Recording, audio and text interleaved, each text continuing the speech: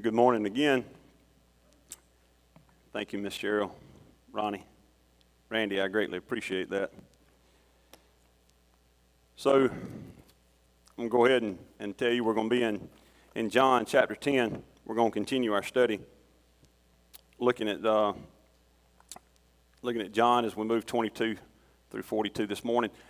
While you're turning there on Nash asked me about filling the pulpit this morning, and first of all, I said, Have you prayed about this? He said, Of course. I said, Well, continue to pray. And I said, You know, I'm not a, I'm not a joke and a three points kind of guy. You know, um, I don't do real well with that. Sometimes I can get long winded, sometimes I can get loud. So I'm going to preface you the same way I do any of the ball teams that I coach. If I get really loud and I get really deep, I'm not mad at you. I get passionate. The more passionate I get, the louder I get, the louder I get, the deeper I get. And the louder this gets. So I felt like a little kid this morning. Some of y'all were in here. I was down here. We were playing with it. And of course, I was changing my voice and just hearing my echo and, and different things this morning. Uh, I'm excited to be here this morning. And I am excited to be able to share the Word of God with you this morning. As you might have noticed on the sign, I have titled this passage A Promise from Solomon's Porch. And I, I want to ask you this before we get started. Have you ever made a promise to somebody that you couldn't keep? Have you ever been promised something that wasn't kept for you? I would like to say that I can say I've made a promise to our youth and I have yet to break it and never will. I am 100% with our youth. I promise them that I will fail you. And I will, unfortunately, not because I want to, but because I am human and I'm fallible. But we get a promise this morning that comes from God that we know that we can trust in and will not be broken. So if you've made it there and you can, I would ask you, as Brother Randy also did, to please stand in reverence and honor of the reading of God's Word. I will be reading and preaching out of the New American Standard this morning. And the Word of God says in John chapter 10, verse 22 At that time, the feast of the dedication took place at Jerusalem. It was winter and Jesus was walking in the temple in the portico of Solomon. The Jews then gathered around him and were saying to him, How long will you keep us in suspense? If you are the Christ, tell us plainly. Jesus answered them, I told you, and you do not believe. The works that I do in my Father's name, these testify of me, but you do not believe because you are not of my sheep. My sheep hear my voice, and I know them, and they follow me. And I give eternal life to them, and they will never perish and no one will snatch them out of my hand. My Father, who has given them to me, is greater than all, and no one is able to snatch them out of the Father's hand. I and the Father are one. Verse 31 The Jews picked up stones again to stone him. Jesus answered them, I showed you many good works from the Father. For which of them are you stoning me? The Jews answered him, For a good work we do not stone you, but for blasphemy, and because you, being a man, make yourself out to be God. Jesus answered them, Has it not been written in your law, I said, You are gods? If he called them gods to whom the word of God came, and the scripture cannot be broken, do you say of him, whom the Father sanctified and sent into the world, You are blaspheming? Because I said, I am the Son of God? If I do not do the works of my Father, do not believe me. But if I do them, Though you do not believe me, believe the works, so that you may know and understand that the Father is in me and I in the Father. Therefore, they were seeking again to seize him, and he eluded their grasp.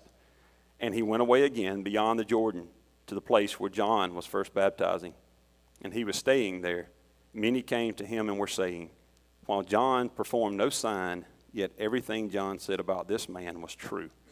Many believed in him there. Let's pray. Our most gracious Heavenly Father, again, we just come to you, Lord, humbly before your throne of grace. Father God, just so thankful for your word, so thankful, God, for the promise that you have given us in your word. God of eternal life, if we are your sheep, if we are children of God and have a relationship with you, Father. Lord, I pray that as we unpack this text this morning, unpack your word. God, that you would just help me, Father, to accurately interpret the scripture, Father. And Lord, to apply it accurately. Lord, that truth would be spoken and truth would be heard this morning. Father, I pray for everyone that's listening and that will be listening, God, that you have prepared their hearts and minds to receive it. Father, knowing that it's your words, not mine. So, Father, I ask now that you hide me behind your cross. Father, I pray that I would decrease and you would increase for us in your Son's precious and holy name that we pray. Amen. You may be seated. So, again, we have, we have Jesus here. And the Feast of Dedication, which is also known as Hanukkah. Now, some people uh, may reference it as the Festival of Lights. So, this series of festivals has been going on for a while, and Jesus has been preaching in the temple. Now, their festivals are a little, a little different than where we're at today. So, you think festival, first thing pops in our mind is peanut festival, right? So, go pay way more than you should for food and drinks, uh, see some lights, exhibits, and uh, get to ride some rides. So, that's kind of our mindset, right? But it was a little different here. So, there was a different setting that was going on. So, just to kind of paint this picture for you, for years there have been false prophets that have come and have claimed to be the Messiah. There have been false promises that have been made that have been broken. So, you have this, this festival that's taking place, and this festival is taking place for one primary reason, and that was whenever the Syrians were defeated they celebrated this as their redemption from the Syrians. So this festival is strictly for that. So it was a, it was a time of hope, it was a time of, of thanksgiving. But it was also a time that they were, they were under a lot of stress and there was a lot of worry. And, uh, and then with Jesus being here, there was a lot of confusion. Who is this guy that claims possibly to be the Son of, son of God. But he's a man. We know who he is. We know where he came from. We know his family. So a lot of confusion. So he, he's out there. It's wintertime. And he moves around to Solomon's porch. And my granddaddy taught me a lot of things whenever I was little and all the way up until I was a grown man. And one of the things that doesn't take long to learn is that if it's cold and there's a north wind blowing, you need to get out of it. You get out of it and get warm, right? So Jesus has meandered over to the east side of the temple. That north wind isn't quite as bad, isn't quite as cold. And he gets out there, and all of these Jews surround him. Not necessarily hostile at this point, but they're needing some information. You ever, you ever ask somebody for advice? and they just won't give you a clear cut answer. Or you ask somebody a question and they won't give you a clear cut answer. Just kind of get this, it's almost like they're speaking in parables. I remember one time I was 18 years old, and my dad used to always try to give me a lot of advice when I was younger, coming up. Samuel's age 8, 9, 10, 11, 12, 13, 14, 15. I never listened. I always thought I knew everything, anyways. So I figured this was payback.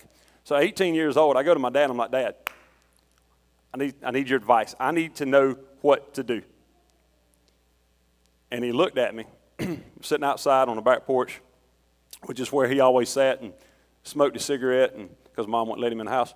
And uh, so he's sitting there, and he looks up at me, and he said, "Son," he said, "You got to make this decision, not me." I said, "I know, Dad, but I, I'm coming to you. I need your advice, and I need you to tell me plainly, right? Just tell me what I need to do. Like I know all these years I thought I knew the answer. I don't know the answer. I need you to tell me the answer.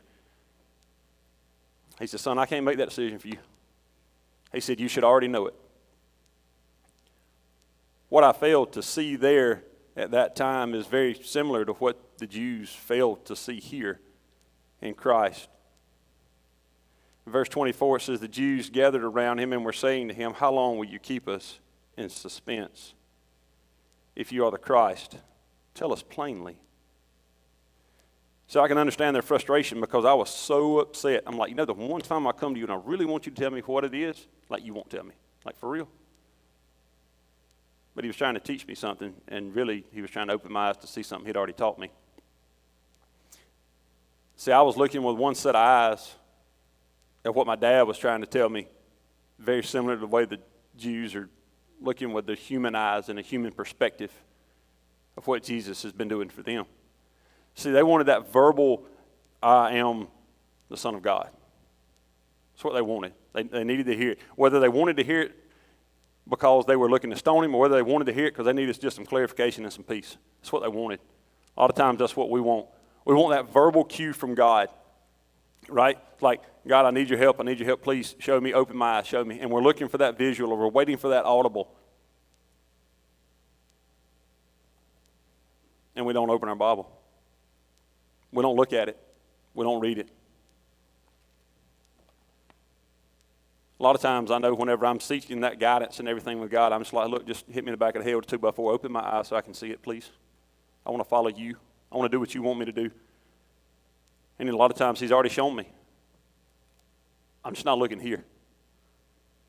I'm not really seeking God. I am, but I'm also seeking my own intent. See, the Jews, whichever translation you want to go with, were seeking their own reasons.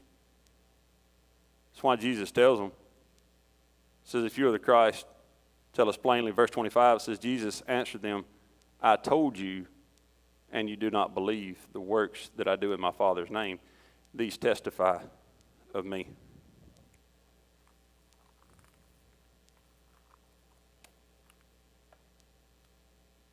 So I've already told you, right? So about three months prior to this, is what we looked at last week. So in verse 7 through 9, Jesus had already laid it out for them. And in John chapter 10, verses 7, it says, So Jesus said to them again, Truly, truly, I say to you, I am the door of the sheep. All who come before me are thieves and robbers, but the sheep did not hear them. I am the door. If anyone enters through me, he will be saved and will go in and out and find pasture. The thief comes only to steal and kill and destroy. I came that they may have life and have it abundantly. See, Christ had already told them who he was. There was a problem. They were not the sheep of God. So, what does that, what does that mean? That they're not the sheep of God? Not born again, believers in Christ, doesn't have that personal relationship with Christ. Like they knew the text, they knew the law, they understood it. They had a head knowledge that was beyond anything that we probably have.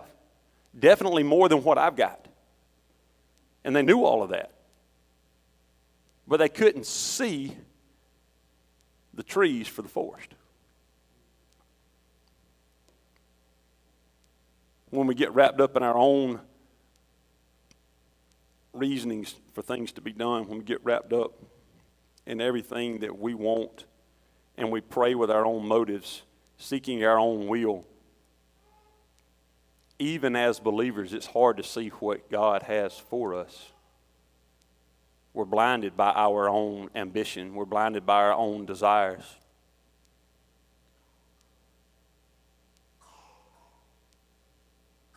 So we get, we get that way sometimes, right? This morning in Sunday school, we was talking about the church at Laodicea. Was talking about how they're, they're lukewarm. They're neither hot nor cold. They're, they're wanting to kind of straddle that fence. They think they've got everything figured out. They got plenty of money and buy whatever they want. Everybody comes through Laodicea as a major trade route at that time.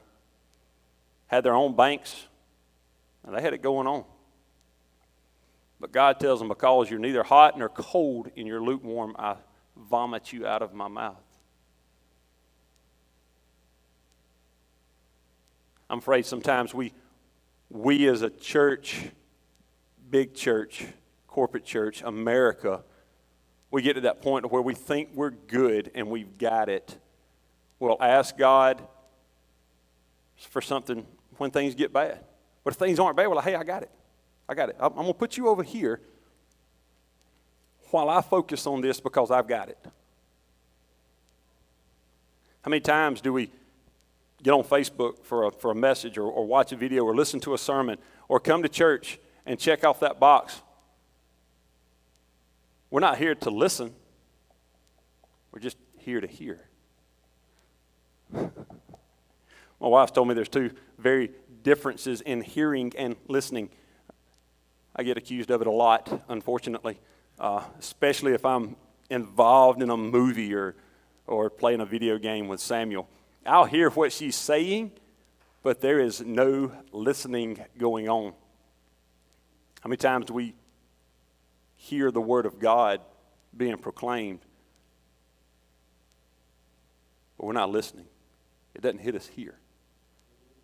It's not, it's not taking the effect and the hold in our life like it needs to.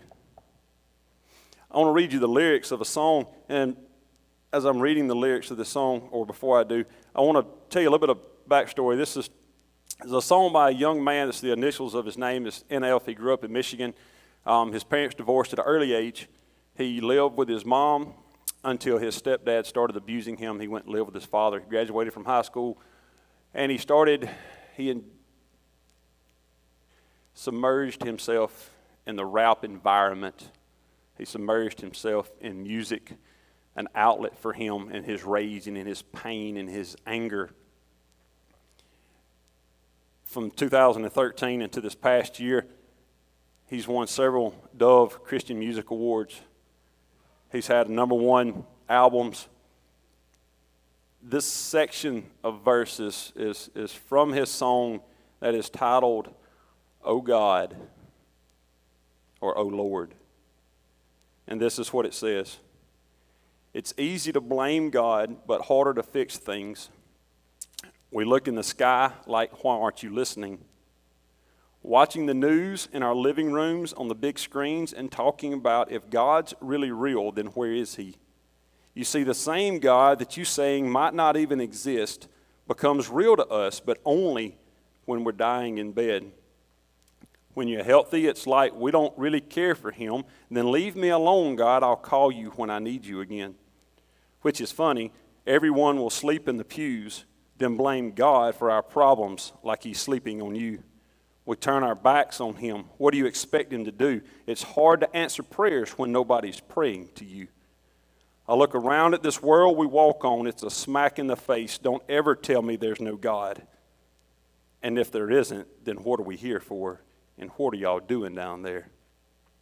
I don't know, Lord.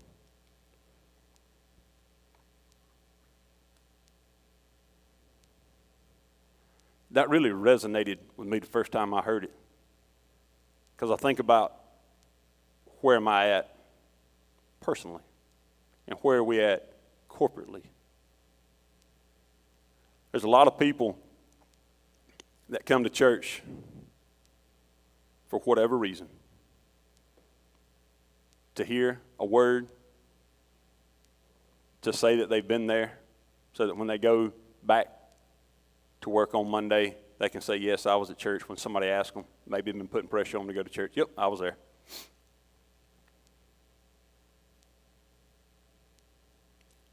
But I find a lot of times we don't come to really listen to what God is trying to tell us.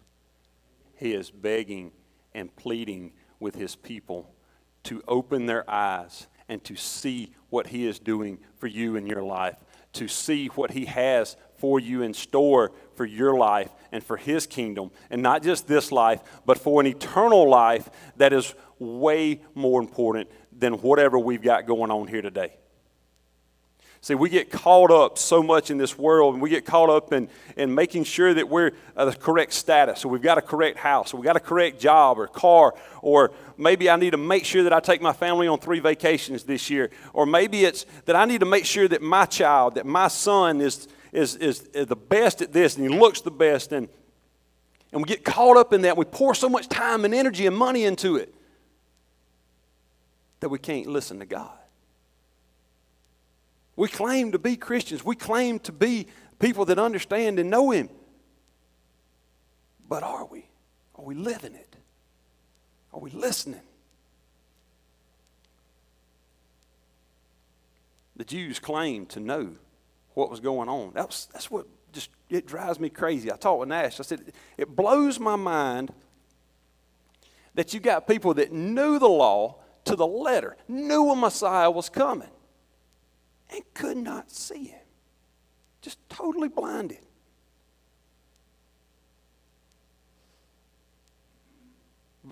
But, then I was the same way for 27 years. Grew up in church, went to youth camp. Couldn't see it. Knew who he was. Didn't see a need for it. Didn't understand it. And maybe that's where they were. Maybe they were so hung up in their status and they were so hung up in Judaism and, and knowing that as long as the Christ didn't come up, they, they kept their position. And they were prominent people. And knowing that if Jesus was who he really said he was, that that would change everything.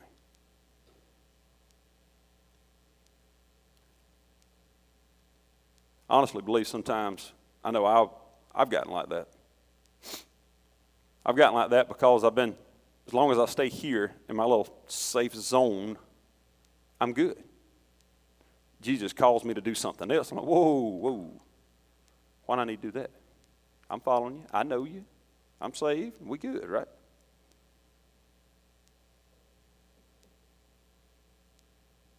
If I'm not listening and I'm not obedient, then I'm missing out on what He has in store for me. So we've gotten to this point all the way up to verse 26. And he's told him, he said, I've shown you, you don't believe. I'm not going to just tell you plainly. I've showed you, and I've told you in multiple ways, but you're not hearing me because you're not my sheep. We get one of, in my opinion, the most profound statements that Jesus makes, and it's one of the most peace giving statements that's in Scripture. And it is a promise of our safety and security in Christ. Verse 27 says, My sheep hear my voice, and I know them, and they follow me. And I give eternal life to them, and they will never perish, and no one will snatch them out of my hand. My Father, who has given them to me, is greater than all, and no one is able to snatch them out of the Father's hand. Man, what a promise. What a what peace and comfort that gives. Because I don't know about everybody else. I know that since I've been saved, I have fallen, I have sinned. And the devil loves to sow these little seeds of doubt that, hey, you went and did this. You sure you're saved? You sure? Do you know that you know? Are you positive? You wouldn't have done this if you were saved, right? You wouldn't have went out, whatever it is, fill in the blank. Jesus assures us here. He says, I give eternal life to them, and they will never perish, and no one will snatch them out of my hand.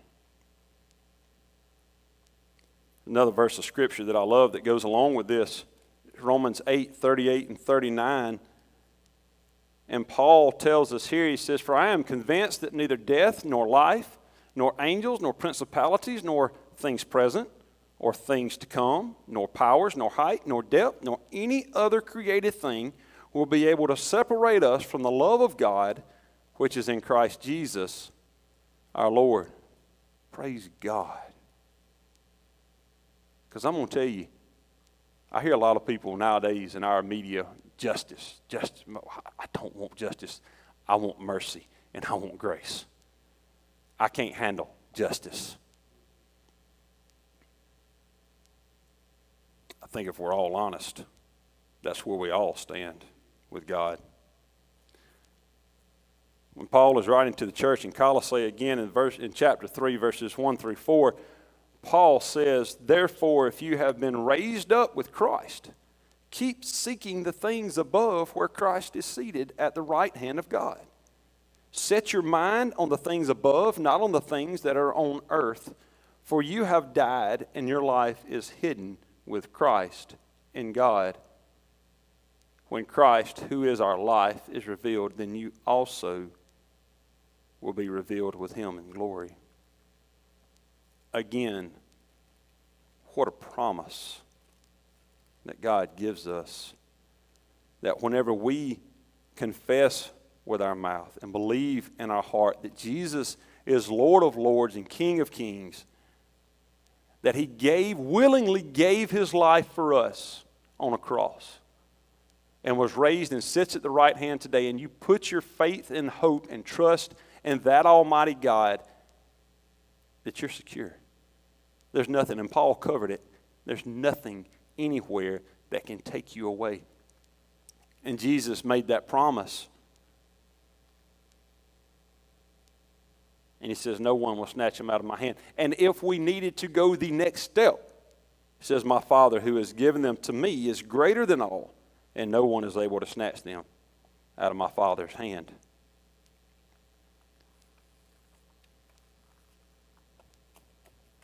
I um I grew up believing that I could lose my salvation. I believed that I had to stay a certain way. I, I believed I had to live a certain life to keep from losing my salvation. You may be at that point today understand that if you're living in doubt and if you're always scared of losing your salvation, how effective can you be for the kingdom of God? How effective can you be to do what God's called you to do if you're always scared that if I mess up, that I'm going to get hit with a lightning bolt or God's going to punish me for that immediately? See, Satan loves to tell that lie to make you ineffective. He loves to sow those seeds of doubt so that you can't prosper for God's kingdom. Rest assured today that if you're a born again believer in Christ, that your eternity is safe. Because there is nothing that can take you away from God. Nothing. So does that mean we can go live it up, right? I'm saved, I got my fire insurance, Bible just told me, can't lose it, right? I'm good. I'm good. I can go out and I can do all the things that I used to do before I got saved, right? Alcoholic. I can go, I can go drink much as I want now, right? Because I'm good. Bible just told me I'm good. On the contrary. Matter of fact, Paul warns of this in chapter 6 of Romans. He says, What shall we say then? Are we to continue in sin so that grace may increase? May it never be. How shall we who died to sin still live in it? When I got saved Sunday morning, I don't remember the exact day. I know it was in April, but I forget the day. Well, the day of the week was Sunday. I forget the date. I was heavy in alcohol. I was, I was abusive to alcohol. I was emotionally abusive to numerous people, probably more prominently to my wife than anybody else. Dabbling in a lot of stuff that I didn't need to be doing. And God opened my eyes that morning, and for the first time, I could listen to what He was trying to tell me. I wasn't just hearing it preached. and things changed. See, I still tell people I'm an alcoholic because I believe once you're addicted to something and once you have that in your physical body, that it never goes away, but God gives you the power to overcome it. See, for the longest time, I love, absolutely love to play pool. I love it beyond most anything else that I do. But where are the pool tables in Dothan, Alabama? I guarantee you, wherever they're at, they sell alcohol. So I put my pool stick up and I put it away. Because God said, You got a choice now, and your eyes have been opened. I feel like I feel like Paul. I feel like he just took those scales off of my eyes, and now I can see clearly. He said, Yes, you're secure. Yes, you are always going to be saved. But now you've got a choice to make knowing right from wrong. It's uh, something I like to use the difference is ignorance and stupid. Ignorance, you just didn't know any better. Stupid is you knew better and you made a bad decision anyways. There is a difference. Do not go home and try to explain that to your wife. That was a bad idea on my part. Did not work out so well. Either way, it like it was it was bad this way and bad that way. So I just had to hush. One of those lessons you learn as a young man trying to think that you need to be right and explain something.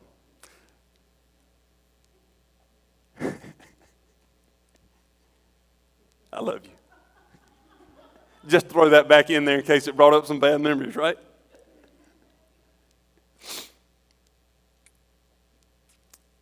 No. Bible's very clear. We should be holy because God is holy. We should always strive to be the best that we can be. Are you going to fall? Yes. Will he catch you? Yes. Praise God. Say he won't never break his promise. He won't he won't never be late. And on the flip side, for all of those people who are always late, he'll never be early either. He'll be right on time. Every time. And how wonderful is that? And we've got a God that loves us enough that every promise he makes, he fulfills it. And he fulfills it at the right time. Doesn't matter what we do. it Doesn't matter how far we think we can run. It doesn't matter what we think we can do to get away from him. He's right there. And one day he knows that you're going to open your eyes and you're going to see. And he's going to welcome you back. And he's already forgiven you. See, whenever you were forgiven, you were forgiven for past, present, and future. God knew what you were going to do. God, he knew I was going to mess up. He knew I was going to fall. And he forgave me anyways. Whew, that's a love I wish I could understand.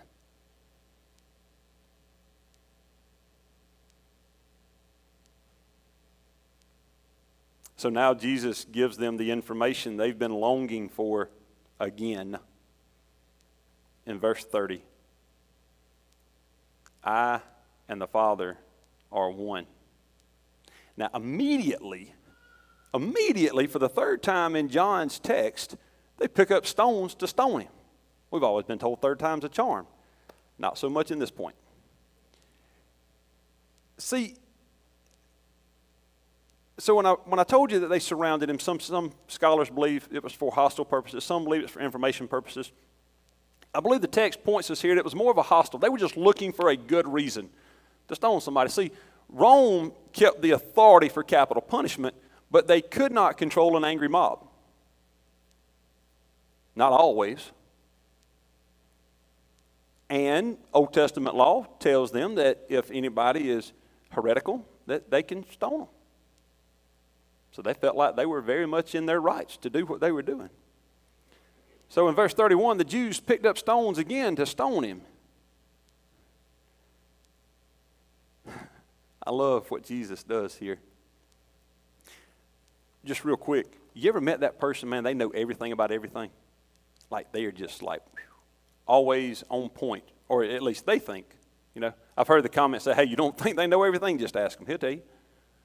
Right? There's the, there are those type people. I think this is the type people that's that's right there encountering Jesus, because what he's fixing to do is he's fixing to throw them a curveball that he knows they can't answer and they can't hit.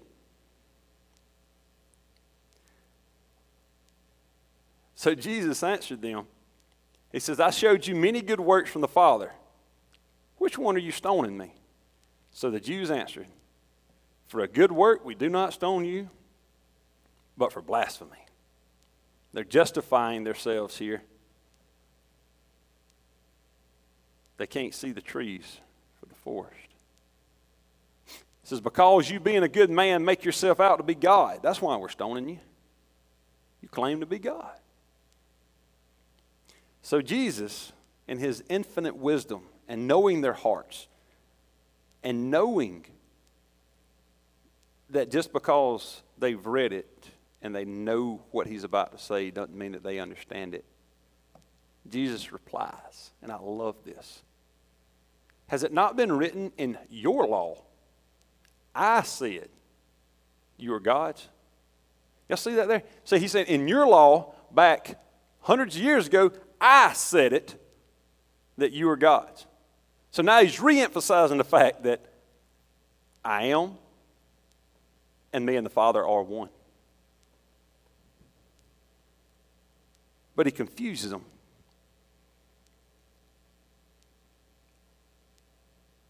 How many times has God ever called a human gods? And what in the world did he mean? Great thing about this passage and a great thing about my ignorance here is the fact that scholars have studied this for years, rabbis at the time, and nobody knew really exactly what he was talking about. I can tell you the text. And the text comes out of Psalm, in Psalm 82 6. That's where it comes from. But why would God call men gods? So I'll read it to you so that you can hear exactly what Jesus is quoting here. And he said, I said you are gods, and all of you are sons of the Most High. So as I read this, it's going to get a little lengthy and a little wordy, but try to follow me here. Jesus answered them, Has it not been written in your law? I said you are gods if he called them gods to whom the word of God came, being and the scriptures cannot be broken, do you say of him whom the Father sanctified and sent into the world? So Jesus is talking about himself here in third person. You are blaspheming because I said, I am the Son of God. So, what Jesus is saying here, because I said I'm the Son of God, and we've got here in the text in Psalms that I've already told you and called some of you that were, that were false leaders gods.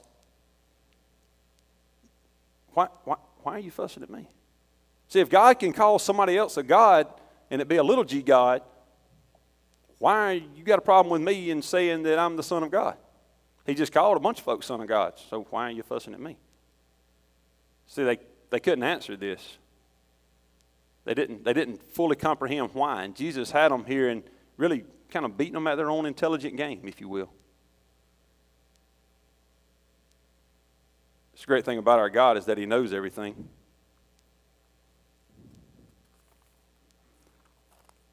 And that He always has the right answer. So they didn't know what to do. They wasn't happy about it. They still looked to try to stone him and they still looked to try to seize him, but now it was more because of confusion and anger more than anything. You ever actually won an argument and the person was really matter? Like you were like you were honest, you were right. Or have you ever just killed somebody with kindness? Like you know they don't like you, and you go to them with pure heart, right? With pure heart, people. We don't go to them out of like I can do this really nicely, and everybody thinks I'm being nice, but I'm really not. No, like a really a pure heart, and go to somebody and do something for them. You know they don't like you, and they're just like, Now, Scripture tells us it's like pouring heaping coals over their head, right? Now, let's be honest, we probably enjoy it just a little bit. But we're being nice, right? No, seriously. I could I'd love to have been there in all of his his glory and his pureness and, be like, hey, literally the basis for what you're doing is wrong. and your law says it's wrong. And your law can't be broken. So why are you mad? And they're just like, man, you know how frustrating that would get? And he'd done that to them over and over and over. You would think after a little bit of time they would understand they're looking with the wrong eyes and they're hearing with the wrong ears. How many times has he done that to us? And we're like, yeah, but God, I want to do this. And he's like, yeah, but it's wrong. You're like, yeah, but what if I do it this way, this way? This? Nope, it's wrong. And we keep trying to figure out a way to do it. It's wrong. But I'm not really gossiping. I'm just, we're just talking, exchanging general information. Are you? God, I'm not, I'm not really cussing. It's just, you know, just English words. We made them that way.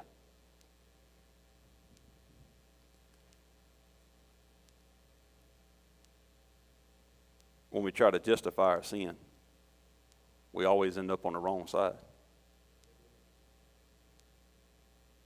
none of it's justifiable. If God's convicting you of it, repent. If God's telling you it's wrong, don't do it. Funny, I said I wasn't going to quote Jerry Clower this morning. Um, Jerry Clower was talking at Samford University, and some students asked him, said, Hey, we need some advice. How do you know what's right and wrong? His reply was, and a lot of y'all may have heard this. He said, What's right and wrong? That's, that's a good question, right? And he gave them four questions to ask whenever you've got to make a decision. You're trying to understand is it right and wrong? And the first one can I give God the glory for it? Can I say, Thank you, God, for whatever it is you're about to do? And if you can't, you're finna mess up. Second question is do you ask other people's advice? He gave the illustration that he was going out on a date one night and he walked in there and he said, Mom, is my shirt dirty? She said, Son, if you believe it's dirty, take it off. Get you another one. Third question is do you argue with yourself? Ooh, guilty of that one. Man, I've had a four person conversation going on with just me. You might think that's hard, but I took the other person's side. Think on that for a while. If you're arguing with yourself, are you trying to justify what you're doing? Because if you are, you're fixing to mess up. For the life of me, I cannot think of the fourth question.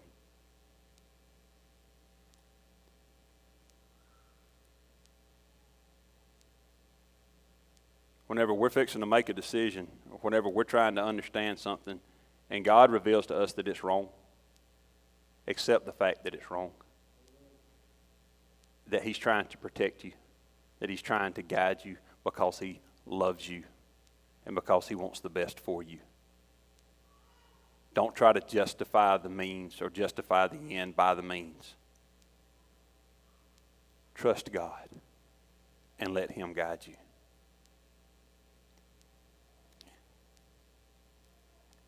Verses 40 through 42 closes out this chapter. And he went away again beyond the Jordan to the place where John was first baptizing and he was staying there. Many came to him and were saying, While John performed no sign, yet everything John said about this man was true. Many believed in him. You ever gotten a point in your life where you're beat down? You're exhausted? You're tired? It Seems like everybody's against you, the world's against you, and you just need to rejuvenate. You need to rest. It's where Jesus was at. See, whenever he leaves this place where John was originally baptizing, he starts his journey to Jerusalem to be crucified. He had, gosh, in the past four months almost, he had been, they tried to stone him three times just in that short period of time. He was tired. He was emotionally and physically exhausted. He was still man, see. He experienced all the same stuff that we experience. So we can't say, God, you don't understand, because he understands, because he's been there. So where did he go? He went where he heard the Father speak to him audibly whenever he was baptized. He went to a place to where people believed in him and uplifted him and encouraged him. Place where he could regain his strength to move forward. I remember being in college. I was off at Troy University, and I'd come home every weekend. Now, for two reasons. One, so that Mama could do my laundry, and the other one is because, well, most of the time I was wrapped up in stuff I didn't need to be in. And I was tired. See, I grew up in a small community where there's more cows than there are people. Get off Troy University, that was a whole nother experience, and for another day that I'll tell you about. But I was tired. I was exhausted. I'd love to tell you I was tired from studying. That's probably not the truth. But I would come home to what was familiar. I would come home and ride with my dad out in the pasture, look at the cows, just to, to be away from the city and the fast life. Even when April and I, our first couple of years of marriage, and we struggled so much, I would go home because it was a place of familiarity. It was a place where I would be encouraged. It's a place where I knew people were praying for me, even though I wasn't saved. I knew there was something in that, just wasn't real sure of it. We all get to a place where we're beat down, we're tired. This world is brutal.